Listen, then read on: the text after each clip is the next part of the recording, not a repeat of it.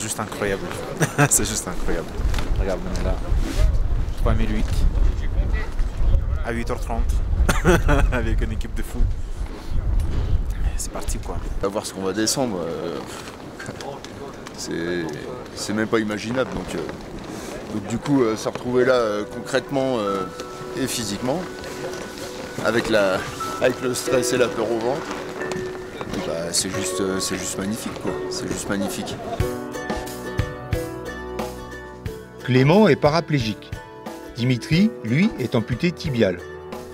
Tous deux sont actuellement à l'Aiguille du Midi, au pied du plus haut sommet d'Europe, le Mont Blanc.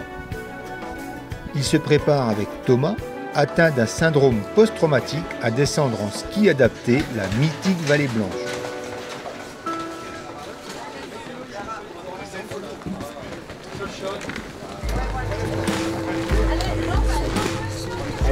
tout ça,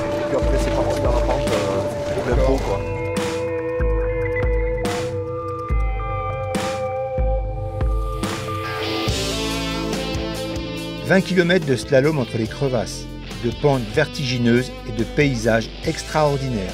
Sûrement un véritable exploit. L'exploit il est là, c'est juste le plaisir de pouvoir euh, euh, emmener des personnes en situation de handicap pour lui, leur permettre de- d'accéder à ce lieu majestueux, magnifique. C'est donc avec l'association Au-delà de nos handicaps et de ses bénévoles, accompagnés des guides et pilotes de l'école militaire de haute montagne et de l'association Loisir Assis Évasion que nos blessés vont se lancer dans une incroyable aventure en neige poudreuse.